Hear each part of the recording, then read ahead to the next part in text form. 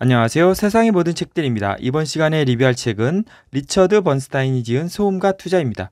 이 책은 VIP 자산운용 최준철 대표님이 추천을 해주셔가지고 읽게 된 책인데요. 기대를 하지 않고 읽었는데요. 정말 책 내용이 너무나 좋은 책이었습니다. 그러면은 리처드 번스타인에 대해서 한번 살펴보겠습니다. 월가에서 25년 넘게 활약한 투자 거장, 뱅크 오브 아메리카 메릴 린치의 수석 투자 전략가를 역임했다. 다양한 개인 투자자들에게 투자 및 포트폴리오 전략에 관해 조언해 주는 일을 했다. 2009년 RBA 어드바이저라는 투자회사를 설립해 현재 대표로 재직 중이다. 목차를 한번 살펴보겠습니다. 이 책은 총 세 파트로 나누어져 있는데요. 파트 1은 소음은 어떻게 주식의 판을 흔들고 있는가? 파트 2는 소음 시대 최상의 투자 전략. 파트 3 투자 성과를 개선하는 소음 필터링 기법. 이 중에서 이번 시간에는 3장 소음은 투자자의 기대를 어떻게 조종하는가. 여기서 이익 예상 라이프 사이클이라는 것이 나오는데 이것을 통해서 좋은 투자, 나쁜 투자를 판단할 수 있습니다. 7장 투자 기간을 길게 하라. 그리고 11장 알짜 정보만을 추출하는 12가지 필터링을 살펴보려고 합니다. 이 내용이 상당히 좋고 신선한 내용이기 때문에 어, 끝까지 시청하셔가지고 좋은 내용 얻어가시기 바랍니다. 그럼 바로 책 내용을 살펴보겠습니다. 3. 소음은 투자자의 기대를 어떻게 조종하는가? 주가를 움직이는 힘, 인식인가 현실인가? 현재의 주식시장은 미래의 사건을 반영하지 않는다는 이야기를 경험 많은 투자자들은 종종 한다. 그런 투자자들은 어떤 사건 혹은 이벤트가 벌어진 뒤 투자하면 이미 늦었다고 본다.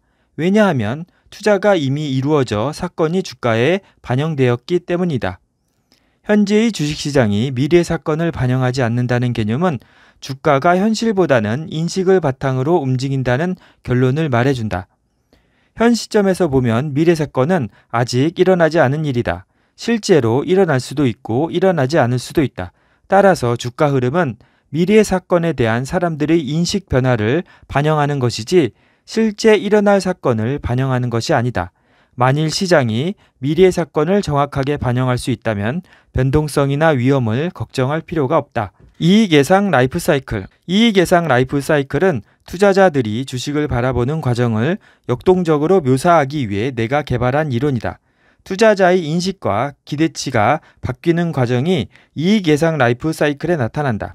우리가 선호하는 종목이든 아니든 모든 주식의 이익 추정치는 이 라이프 사이클을 따른다. 물론 종목에 따라서는 일부 라이프 사이클을 건너뛸 수도 있고 진행 속도가 빨라질 수도 있다.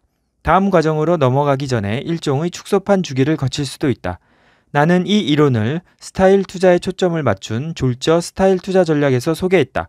이 책에서는 이 이론을 투자 소음과 관련해서 보고자 한다. 이익 예상 라이프 사이클은 그림 3-1과 같다. 이 그림이 이익 예상 라이프 사이클을 나타냅니다. 1단계 역발상 투자, 6시 방향. 즉, 6시 방향에서 한 바퀴 도는 겁니다. 역발상 투자자들은 이익 추정치가 나쁜 주식에 투자한다. 투자자들은 대부분 이런 주식이 매력이 없거나 위험하다고 평가한다. 2단계, 긍정적 earning surprise. 이익 추정치가 나쁜 기업들이 갑자기 긍정적인 정보를 제공하기 시작하면서 투자자들이 관심을 갖게 된다. 해당 주식에 대한 애널리스트 보고서도 늘어나기 시작한다. 3단계 긍정적 earning surprise 모델. 애널리스트 이익 추정치와 실제 단기 순이익의 차이가 큰 종목을 찾는 모델이 긍정적 earning surprise 종목을 선정한다. 전통적 earning surprise 모델은 실제로 이익이 발표될 때까지 기다리므로 실제 사건은 2단계에서 발생해도 이 모델은 3단계에서 종목을 선정한다.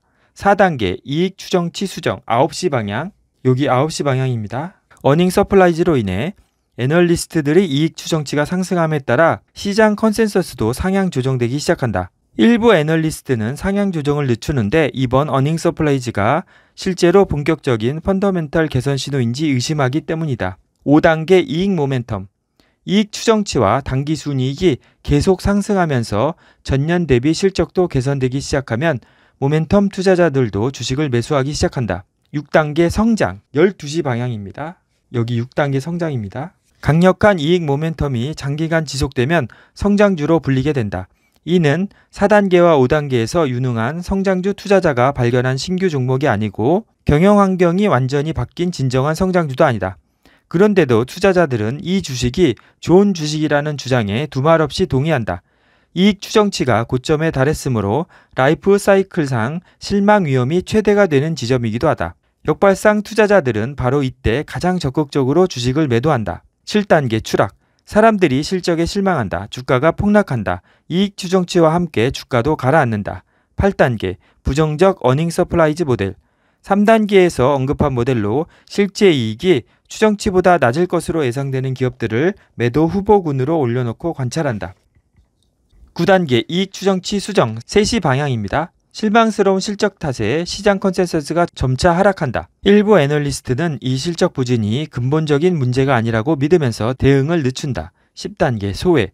장기간 실망스러운 실적을 낸 기업은 시장에서 소외당한다. 인수, 합병, 구조조정, 파산 관련 루머가 주가에 일시적으로 영향을 줄 수는 있지만 이 단계에 있는 주식들은 투자자들이 관심에서 멀어져 간다. 11단계 무시. 투자자들이 관심이 사라져 기업 분석 보고서도 실익이 없으므로 이 종목은 리서치 부서의 투자 universe에서 제외된다. 그 결과 분석 정보가 부족해지면 새로운 이익 예상 라이프 사이클이 시작될 수도 있다. 실제로 이런 라이프 사이클을 거친 기업들이 매우 많다. 그래서 예로 인터넷 산업의 라이프 사이클, 그다음에 에너지 업종의 라이프 사이클 그런 것들이 있었다고 합니다. 그래서 여기가 상당히 좋은 내용이었는데요. 이익 예상 라이프 사이클로 보는 좋은 투자자. 이익 예상 라이프 사이클 이론을 적용하면 좋은 투자자와 나쁜 투자자를 쉽게 정의할 수 있다. 좋은 투자자는 이익 추정치가 상승하는 주식을 보유하는 사람이고 나쁜 투자자는 이익 추정치가 하락하는 주식을 보유하는 사람이다. 여기 나오는 데이터를 보면 인기 고PER주는 이익 예상 라이프 사이클의 12시 근처에 있고 여기입니다. 12시. 비인기 저PER주는 6시 근처에 있음을 알 수 있다. 그림 3.4와 그림 3.5가 보여주듯이 좋은 투자자는 라이프 사이클의 6시와 12시 사이, 즉 이익 추정치가 증가하는 구간에서 주식을 보유한다. 나쁜 투자자는 12시와 6시 사이, 즉 이익 추정치가 감소하는 구간에서 주식을 보유한다. 이익 예상 라이프 사이클로 보는 성장과 가치, 성장 투자자와 가치 투자자 모두 소음 탓에 큰 실수를 저지르기가 쉽다. 그림 3.6을 보면 성장 투자자는 대부분 이익 기대치가 높다는 점을 알 수 있다. 이들은 이익 예상 라이프 사이클에서 정상으로 가는 중간 지점에 주식을 보유하는 경향이 있다. 성장주 분석에는 대개 즉시 이용 가능하거나 가시화된 데이터를 사용한다. 그러나 그림 3.7에서 보듯이 가치 투자자들은 대부분 이익 기대치가 낮다. 성장 투자자들은 인기주를 찾아다니지만 가치 투자자들은 비인기주를 찾아다닌다. 따라서 가치 투자자들이 회계 분석에 필요한 정보를 찾기가 어려울 때도 있다. 소음이 실수를 유발하는 과정. 그림 3.4부터 그림 3.7까지 겹치면 그림 3.8이 된다. 이게 그림 3.8입니다. 이익 예상 라이프 사이클은 넷으로 나뉘며 9시부터 시계 방향으로 각각 좋은 성장, 나쁜 성장, 나쁜 가치, 좋은 가치가 된다. 여기입니다. 좋은 성장, 나쁜 성장, 나쁜 가치, 좋은 가치입니다. 그림 3.8을 보면 투자자들이 소음에 휩쓸려 실수하는 이유를 이해할 수 있다. 성장 투자자는 주식을 지나치게 오래 보유하는 경향이 있고 가치 투자자는 지나치게 서둘러 주식을 사는 경향이 있다. 말은 쉽지만 싸게 사서 비싸게 팔기는 결코 쉬운 일이 아니다. 가치 투자자는 싸게 사기가 어렵고 성장 투자자는 비싸게 팔기가 어렵다. 소음과 성장 투자자 성장 투자자는 유망한 성장주를 찾지 못할까봐 걱정하지만 이익 예상 라이프 사이클을 이용하면 쉽게 찾을 수 있다. 주식이 이익 예상 라이프 사이클의 9시를 향해 가면 애널리스트들의 이익 추정치가 상향 조정되고 주식의 상대 강도와 모멘텀이 축적된다. 이익 증가율, 매출 증가율, 이익률, 시장 점유율에 대한 추정치도 곧바로 이용할 수 있다. 실제로 성장주를 사기는 어렵지 않다. 그러나 이익 예상 라이프 사이클을 보면 성장주 투자의 성패는 매수가 아니라 매도에서 갈린다. 인기주를 고점에서 판 사람이 얼마나 될까? 성장 투자자들은 대부분 성장주를 찾기는 쉽지만 고점에서 팔기가 어렵다고 말할 것이다. 성장 투자에서 매도가 어려운 이유는 무엇일까? 한 가지 이유는 성장주가 이익 예상 라이프 사이클의 12시에 접근할 때 가장 긍정적인 뉴스가 쏟아지고 가장 많은 관심이 쏠린다는 점이다. 펀더멘털 분석은 소홀히 하면서 과거 실적이 좋았다는 이유로 소음에 휩쓸려 주식과 사랑에 빠지면 악재가 쏟아져도 못 보기 쉽다. 따라서 성장 투자자들은 소음에 휩쓸려 적절하게 매도하지 못하는 탓에 실적이 나빠지기 쉽다. 소음과 가치 투자자. 가치 투자자들은 주식을 지나치게 오래 보유하게 될까봐 걱정한다. 이들은 고평가된 주식을 포트폴리오에서 뽑아내면서도 장기 보유에 대해 성장 투자자들보다 더 많이 걱정한다. 그러나 이익 예상 라이프 사이클에 의하면 가치 투자자의 걱정은 기우에 불과하다. 가치주를 지나치게 오래 보유하면 포트폴리오가 성장 지향형으로 바뀔 수도 있으나 실적이 약화하지는 않을 것이다. 이익 예상 라이프 사이클에 의하면 가치 투자자들은 주식을 지나치게 서둘러 사는 탓에 실적이 나빠진다. 가치 투자자는 모든 악재가 이미 주가에 반영되었다고 생각하지만 이후에도 주가는 상당 기간 하락할 수 있다. 가치 투자자들은 때로는 주식을 일찍 사는 편이 좋다고 하면서 최소한 바닥에 떨어진 주식을 사게 된다. 이는 좋은 전략으로 보일 수 있으나 주식을 지나치게 서둘러 사면 실적 부진 기간이 길어질 수 있다.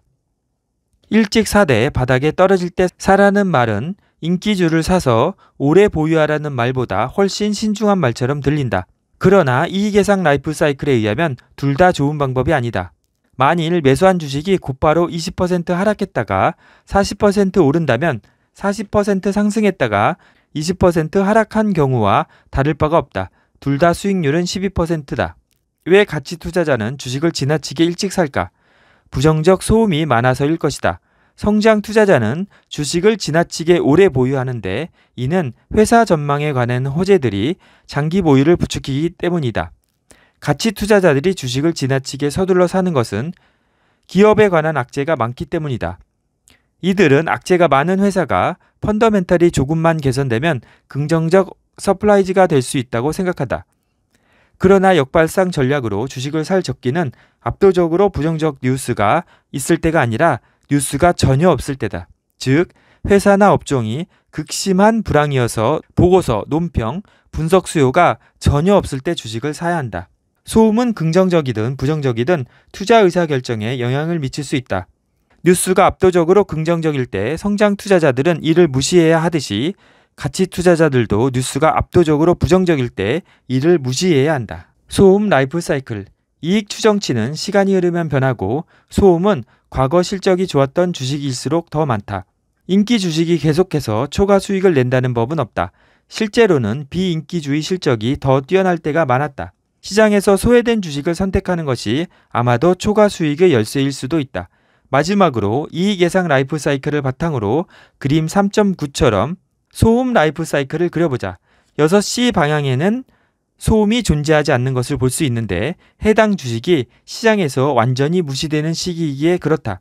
12시 방향에는 뉴스도 소음도 상당히 많다. 6시에서 12시로 이동하는 동안 소음은 점점 커지다가 12시에서 6시로 가면서 다시 줄어든다. 유혹이 가장 큰 시점은 12시에 근접했을 때다. 기업에 관한 호재가 넘치고 경영서적을 써도 좋을 정도로 경영진에 대한 산사가 쏟아진다. 해당 주식 또한 장기 보유할 핵심 우량주로 인식된다. 그러나 6시에 이르면 해당 주식은 S&P 500 지수에서 탈락한다. 경영진은 해고당하며 사람들은 이 기업이 존재하는지조차 모르게 된다. 결론적으로 3장의 가장 중요한 내용을 한 문장으로 표현하면 이렇다. 뛰어난 투자자는 소음이 없을 때 매수하고 소음이 넘쳐날 때 매도한다. 참 막연히 알았지만 이거를 이렇게 표로 딱 정리를 해주시니까 어, 너무나 이해가 쉬운 것 같습니다. 어, 저도 이거를 적극적으로 써봐야 되겠습니다. 7. 투자 기간을 길게 하라. 투자자들은 장기적으로 생각해야 한다. 수없이 들었던 이야기다. 그러나 투자자들은 대부분 이런 조언을 무시한다. 그래서 소음에 휩쓸려 판단을 그르치는 것이다. 투자자들은 종종 장기 투자에서 나오는 실적을 보지 못한다. 단기 변동성이 극심할 때일수록 더욱 그렇다. 시장의 변동성이 극에 달하는 기간에는 소음도 그에 비례해서 증가한다. 이런 소음에 휩쓸리지 않는 가장 쉬운 방법은 장기 계획을 세워 포트폴리오를 관리하는 것이다. 우리가 장기 투자가 성공하는 가장 확실한 방법이라는 말을 많이 듣잖아요. 근데 여기서는 그거를 데이터로 확실하게 보여줘서 정말 좋았습니다. 여기도 꼭 들으시기 바랍니다. 데이 트레이더가 되려는 사람에게 투자는 장기간 해야 하는데도 사람들의 투자 기간은 갈수록 짧아지고 있다. 최근 몇 년 동안 데이 트레이딩의 인기가 올라가는 모습에서 이를 알 수 있다. 장기 투자가 단기 투자보다 나은데도 왜 사람들은 분단위, 시간 단위로 매매하려 할까? 사람들은 본업을 포기하면서까지 데이 트레이더가 되려고 한다. 나로서는 도무지 믿을 수 없는 일이었다. 투자 기간을 늘리면 실적도 더 좋아질 뿐더러 본업을 유지할 수도 있는데 그들은 그런 사실을 깨닫지 못하고 있었다. 이번 7장은 결론부터 이야기하자면 일상적으로 금융시장에서 돌아다니는 소음이 투자 의사결정에 영향을 미치고 투자자들이 밤잠을 설치게 만든다는 것이다. 자칭 장기 투자자라고 생각하는 사람들에게는 다소 놀라운 결론일 수도 있겠다. 날마다 경제신문을 읽고 경제TV를 보며 포트폴리오를 평가하면 처음에 장기 투자를 계획했더라도 결국 장기 투자를 포기하게 되기가 쉽다. 투자 기간이 아주 길다면 날마다 경제신문과 경제TV를 보고 포트폴리오를 평가할 필요가 없다. 분기 어닝 서프라이즈 등 온갖 분석은 5년에서 10년 뒤 주가에 거의 영향을 미치지 않는다. 따라서 진정한 장기 투자자는 시장을 매일 접할 필요가 없다. 아, 여기가 상당히 인상적인 부분이었습니다. 앞에서 논의했듯이 전통적인 분석에서는 위험이 과거 수익률의 변동성, 즉 표준 편차라고 간주한다. 그러나 6장에서 설명한 퀴즈를 생각해 보면 위험은 손실 확률로 보는 편이 더 적절하다. 그래서 요 앞에 어, 불확실성의 정도를 위험이라고 판단하는 전통적인 분석이 있고요. 그 다음에 위험을 손실 확률로 보는 또 다른 방법이 있거든요. 근데 여기서는 일반적으로 투자자들은 이익이 나기만 하면 변동성은 상관하지 않는다. 7장에서는 투자자 대부분의 생각에 맞춰 위험을 손실 확률로 정의한다. 그래서 손실 확률로 위험을 정의한다고 하십니다. 즉 25개 기간 중 손실이 발생한 기간이 5개라면 위험은 20%가 된다. 즉 5 나누기 25는 20%, 바꿔 말하면 이익 확률은 80%가 된다. 그러나 이렇게 계산한 위험으로는 이익과 손실의 크기를 전혀 알 수 없다는 점에 유의해야 한다. 매우 안전해 보이는 자산에서 발생하는 손실이 매우 위험해 보이는 자산에서 발생하는 손실보다 훨씬 클 수도 있다. 예를 들어 어떤 자산에서는 10년마다 한 번 손실이 발생하지만 그 손실이 90%가 될 수도 있다. 또 어떤 자산에서는 5년마다 한 번 손실이 발생하지만 그 손실이 미미할 수도 있다. 투자 기간이 꼭 1년이어야 하나. 자산 배분에는 투자 기간이 매우 중요하다. 대부분의 연구에서는 투자 기간을 1년으로 한다. 그러나 투자 기간을 3년, 5년, 10년으로 하면 자산 배분 결과는 극적으로 달라질 수 있다. 10년에서 15년 투자하는 사람이 1년을 기준으로 분석하면 의사결정이 부실해지기 쉽다. 1년 단위로 발생하는 변동성이나 손실이 10년에서 15년 단위로는 대부분 사라질 수 있기 때문이다. 1년 단위로는 매우 위험해 보이는 투자가 5년에서 10년 단위로는 매우 안전해 보일 수 있다. 이제 투자 기간을 변경할 때 다섯 가지 주식 유형의 위험 수익이 어떻게 바뀌는지 살펴보자. 먼저 우리가 사용하는 데이터를 정의하겠다. 1971년 1월에서부터 2000년 12월의 모든 수익률 데이터를 분석에 사용한다. 주식 유형은 다음과 같다. 1. S&P 500. 매달 배당 재투자를 가정한 S&P 500의 투자 총수익. 2. 성장주. 메릴린치 개량 전략 성장주 펀드 지수로 유명한 대형 성장주 펀드 9개의 투자 총수익을 측정한다. 3. 가치주. 메릴린치 개량 전략 가치주 펀드 지수로 가치주 펀드를 사용한다. 4. 소용주. 시카고 이보슨 어소시에이츠에서 산출하는 이보슨 소용지수 수익률이다. 5. 해외 주식. MSCI EAFE 지수의 미국 달러 기준 투자 총 수익이다. 그림 7.1은 위 5개 주식 유형의 과거 위험 수익 3%다.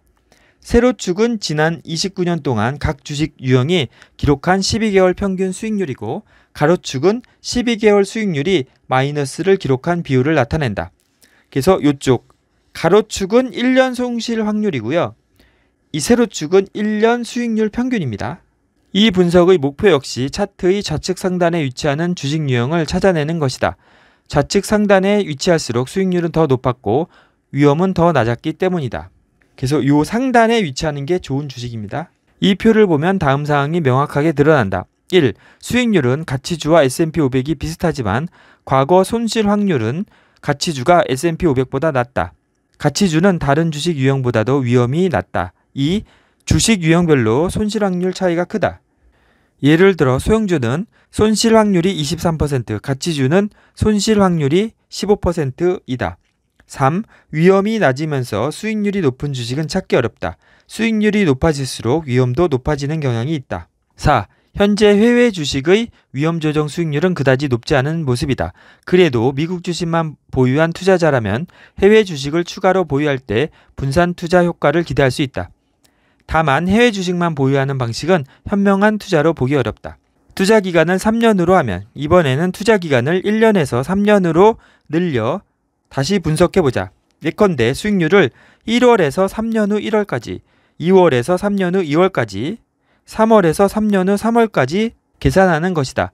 손실 확률도 1년 동안 보유할 때 발생하는 손실 건수 대신 3년 동안 보유할 때 발생하는 손실 건수를 계산한다. 그림 7.2는 투자 기간을 3년으로 늘렸을 때 5개 주식 유형의 위험 수익 3%이고 이거입니다. 표 7.2는 실제 데이터이다.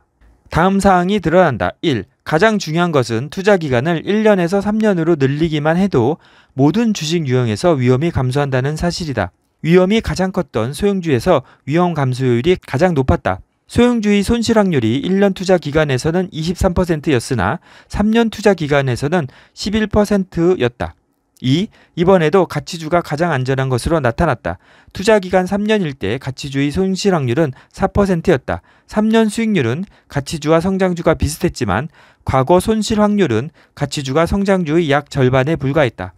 3. S&P 500보다 좌측 상단에 위치한 주식은 가치주뿐이었다. 즉, 시장보다 수익률이 높으면서 위험이 낮은 주식은 가치주가 유일했다. 4. 지수 구성에 편향이 있어서일 수도 있지만 성장주와 가치주 둘 다 시장 실적을 초과했다. 소형주와 해외 주식도 시장 실적을 초과했다. 5. 소형주는 해외 주식보다 좌측 상단에 위치했다. 그래도 해외 주식을 추가로 보유할 때 분산 투자 효과를 기대할 수 있다. 즉, 소형주만 보유하는 것보다는 해외 주식을 함께 보유하는 편이 낫다. 이번에도 놀라운 결과가 나온 것은 1990년대 말 성장주가 초과 실적을 냈기 때문이다. 가치주는 여전히 성장주보다 안전했고 3년 수익률은 성장주보다 겨우 1%포인트 낮았다. 투자 기간을 5년으로 하면 이번에는 투자 기간을 5년으로 늘려보자. 예컨대 수익률을 1월에서 5년 후 1월까지, 2월에서 5년 후 2월까지로 계산한다. 손실 확률도 5년 동안 보유할 때 발생하는 손실 건수로 계산한다. 다음 사항이 드러난다. 1. 역시 투자 기간을 늘리기만 해도 모든 주식 유형에서 위험이 감소했다. 가치주와 해외 주식은 위험이 1% 밑으로 내려갔다. 2. 이번에는 성장주가 가장 위험한 것으로 나타났다. 다른 주식 유형은 손실 확률이 2% 이하였지만 성장주는 손실 확률이 약 7%였다. 게다가 손실 확률이 가장 높은데도 수익률은 가장 높은 수준이 아니었다. 소형주와 해외 주식은 성장주보다 위험은 낮고 수익률은 높았다. 가치주는 수익률이 성장주와 비슷했으나 위험은 훨씬 낮았다. 3. 투자 기간을 3년에서 5년으로 늘렸을 때 해외 주식의 위험이 가장 극적으로 감소했다. 해외 주식은 단기간에는 실적이 악화하기 쉽지만 투자 기간이 증가하면 실적의 변동성이 대폭 감소하는 것으로 보인다. 4. 네 가지 주식 유형. 성장주, 가치주, 소형주, 해외 주식 모두 S&P 500 지수 실적을 초과했다. 중요한 사항이므로 다시 강조하겠다. 장기 투자에 성장주가 가장 안전하다고 생각한다면 이 분석 결과를 보고 나서 관점을 바꿔보라. 그림 7.3에서 보듯이 소형주와 해외 주식은 성장주보다 위험이 낮으면서 수익률은 높았다. 가치주는 수익률이 성장주와 비슷했으나 위험은 훨씬 낮았다. 즉 성장주는 위험이 높고 소형주는 위험도 낮은 반면 수익률이 높은 겁니다.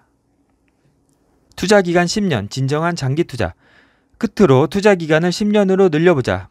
10년은 사람들이 현실적으로 투자를 생각할 수 있는 최장 기간일 것이다. 여기에서는 10년 수익률을 예컨대 1월에서 10년 후 1월까지, 2월에서 10년 후 2월까지 계산한다. 따라서 10년 단위 분석 기간이 200개 이상 포함된다. 분석 기간이 중복되긴 하지만 10년 투자 시점을 무작위로 정해 시뮬레이션 하려는 의도다. 투자 기간을 10년으로 했을 때 나온 위험 수익 분석 결과는 매우 흥미롭다. 여기서는 위험이 중요하지 않으므로 수익 잠재력에만 초점을 맞추면 된다. 그림 7.4와 표 7.4에서 분석 결과를 요약했다. 즉 이렇게 이렇게 나옵니다. 1. 투자 기간이 10년이면 1970년 이후 모든 주식 유형에서 손실은 전혀 발생하지 않았다. 2. 진정한 장기 투자라면 단기 위험은 무시한 채 수익 잠재력에 초점을 맞춰야 한다. 3. 투자 기간 10년에서는 S&P 500의 실적이 가장 부진했다. 성장주와 가치주, 소형주와 해외 주식 모두 시장 실적을 초과했다. 지수 구성이 편향되었을 수도 있지만 진정한 장기 투자라면 액티브 운영 펀드도 고려 대상에서 제외하면 안 된다. 성장주와 가치주의 관계를 한 번 더 생각해 보자. 투자 기간 10년 동안 성장주의 수익률은 가치주보다 겨우 9% 높았는데 연수익률로 따지면 1% 미만에 불과하다. 지난 몇 년간 성장주에 관심이 쏠렸던 사실을 고려하면 앞으로 성장주가 어떻게 될지 아무도 알 수 없을 것이다. 시간이 위험을 줄여준다. 지금까지 분석에서 보았듯이 투자 기간을 늘리면 투자 위험이 감소한다. 투자 기간이 1년일 때는 위험이 매우 중요한 고려 사항이었지만 투자 기간이 10년으로 늘어나면 위험은 중요한 고려 사항이 아니다. 장기 투자 중에도 불합리한 투자가 존재할 수 있지만 예컨대 복권, 진정한 장기 투자라면 손실 확률이 대폭 감소하므로 위험은 부차적인 고려사항일 뿐이다. 여기서 유의할 대목은 진정한 장기 투자다. 소음이 투자자의 투자 기간을 축소하기에 그렇다. 즉 여기 보면은 투자 기간 10년이 되면 위험은 없고 다 이익을 보는데 소형주, 해외 주식, 성장주, 가치주, S&P 500으로 수익률이 줄어든다는 겁니다. 그렇기 때문에 수익을 가장 많이 낼 분야에 투자하는 게 중요하다는 것이거든요. 그 말로만 들었는데 이렇게 데이터로 보니까 와, 이 장기 투자를 하는 게 거의 마법과 같은 방식이지 않을까 그렇게 생각이 되거든요. 데이 트레이더들이 손실에서 벗어나지 못하는 이유. 이번에는 반대 방향으로 가보자. 투자 기간이 1개월이라면 손실 확률은 얼마나 될까? 그림 7.10은 투자 기간이 1개월일 때 5개 주식 유형의 손실 확률을 나타낸다. 1년, 3년, 5년, 10년일 때보다 손실 확률이 훨씬 높다. S&P 500의 손실 확률은 투자 기간 1년에서 17%였지만 1개월에서는 38%였다. 투자 기간을 1개월에서 1년으로 확장할 때 손실 확률은 21%포인트 감소했다. 이익을 낼 확률로 봤을 때 투자 기간이 1개월이면 62%, 1년이면 83%, 5년이면 98%가 된다. 투자 기간을 확대하면 손실 확률이 감소하고 축소하면 손실 확률이 증가한다. 이런 흐름을 고려하면 데이 트레이더들의 실적이 부진한 것은 이상한 일이 아니다. 데이 트레이더들의 투자 기간은 연이나 월 단위가 아니라 시간이나 분 단위이기 때문이다. 따라서 이들의 성공 확률은 지극히 낮을 수밖에 없다. 개별 종목에 투자할 때도 투자 기간을 확대하면 유리해진다. 그림 7.11은 1990년 12월 31일에서 1999년 12월 31일 동안 1600개 종목에서 1개월, 3개월, 1년 평균 수익률을 나타낸다. 10년 가운데 7년은 투자 기간이 1년일 때 실적이 더 좋았다. 들어가는 말에서 5일 후 날씨를 예측하는 일기예보를 소음의 예로 든 것을 떠올려 보자. 우리는 5일 일기예보가 적중하기 어렵다는 점을 잘 알면서도 다가오는 주말 날씨가 궁금해 월요일 저녁마다 5일 예보를 빠뜨리지 않고 시청한다. 그러나 5일 예보보다는 단순하고 명확한 예보가 적중 확률이 높다.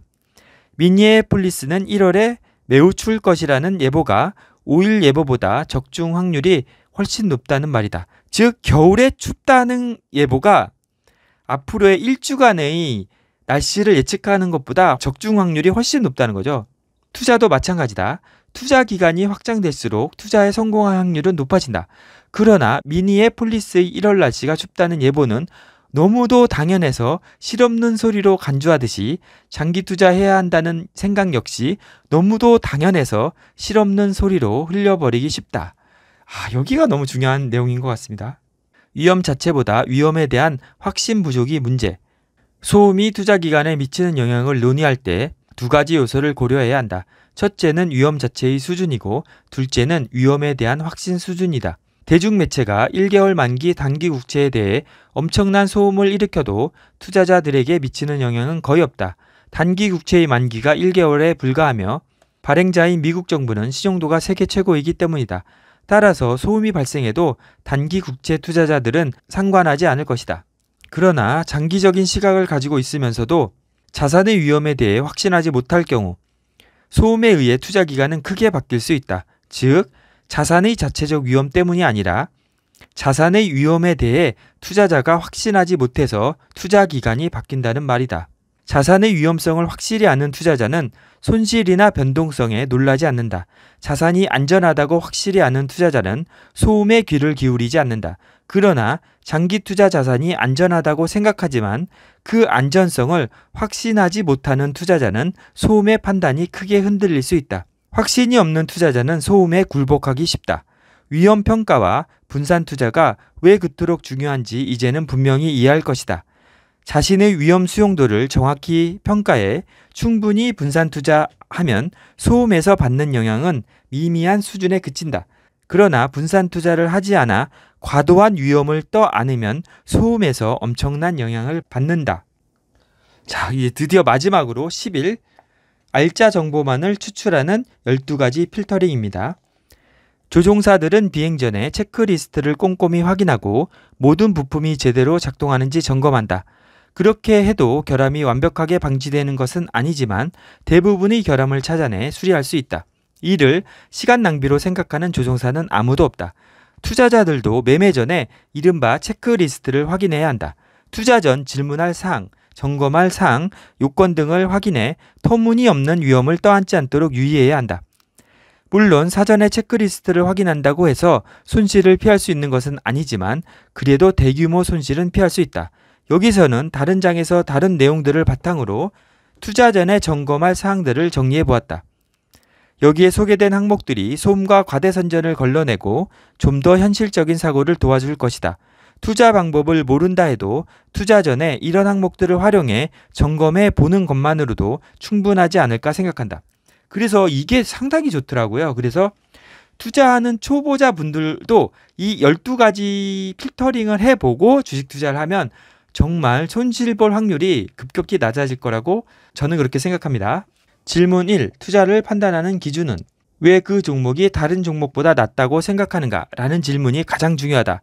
이 질문에 즉시 간결하게 답할 수 없다면 처음부터 다시 시작해 새로운 투자 대안을 찾아보는 편이 낫다.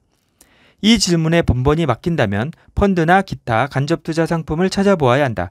10중 8구 투자 지식이 부족해 직접 투자에 적합하지 않기 때문이다.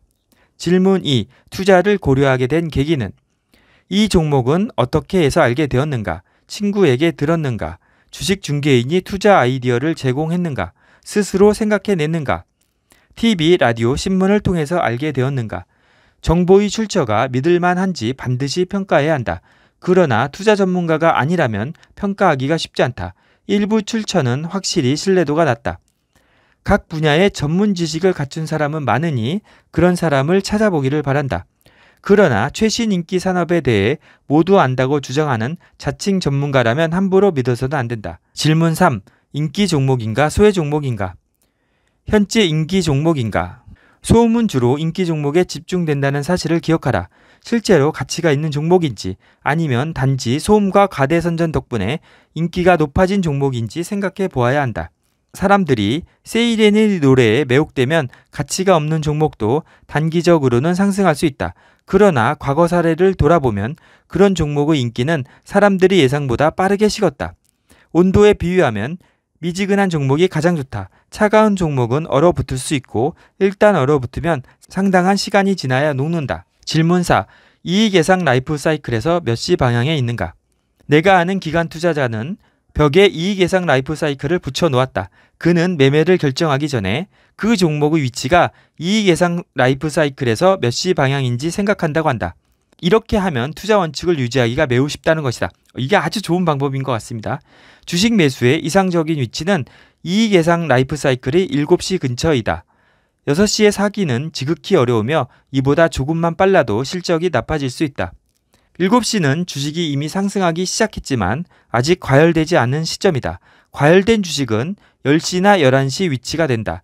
7시 근처에 있는 주식은 아직 TV나 잡지에 소개되지 않았으므로 발굴하려면 많은 노력이 필요하다. 이런 종목을 찾아낼 자신이 없다면 다시 간접 투자 상품을 생각해 보기 바란다. 질문 5. 기존 포트폴리오와 어울리는가? 분산 투자는 중요한 개념이지만 많은 투자자가 이를 무시한다. 특히 총 자본에 대한 분산 투자가 중요하다. 관심 종목이 자신이 종사하는 업종에 속한 종목인가? 혹시 급여 일부를 회사 주식으로 받고 있는가? 즉, 자신이 근무하는 회사와 같은 업종에 투자하는 것을 꺼리라고 합니다. 이미 보유한 기술주가 새 종목이라면 또 다른 기술주 종목을 추가 매수할 필요가 없다. 매우 간단한 어림셈법이 있다. 시장 변동성 때문에 밤잠을 설친다면 포트폴리오의 분산 투자가 부족하다는 뜻이다. 분산 투자가 잘 된 포트폴리오라면 일간, 주간, 월간 단위 변동성 때문에 불안해질 일이 없다. 질문 6. 위험하다고 생각하는가? 왜 위험하다고 생각하는가? 위험하다고 생각한다면 왜 투자하려고 하는가? 위험하다고 생각하는 종목을 이미 많이 보유하고 있는가? 위험을 떠안아야 고수익이 가능하다는 생각에 사로잡혀서는 안 된다. 물론 위험을 떠안아야 장기적으로 고수익을 얻을 수 있다. 그러나 단기적으로 고수익을 얻으려고 위험을 떠안아서는 안 된다. 이 과정에서 입는 손실은 정당한 손실이 아니다. 모든 사람이 큰 위험을 담당할 수 있는 것은 아니다. 위험 자산에 투자해야 한다는 강박관념에 사로잡힐 필요가 없다. 질문 7. 위험을 평가하는 기준은 어떤 종목의 위험을 직관적으로 평가하는가 아니면 계량 척도를 확인해서 판단하는가? 거듭 말하지만 자신의 위험 수용도를 평가하는 것은 절대 쉽지 않다. 위험을 과거 수익률의 변동성으로 정의하는가 아니면 손실 확률로 정의하는가? 1차 3개년에 초과 실적을 낸 전략은 2차 3개년 실적이 부진할 확률이 높다는 사실을 명심하라.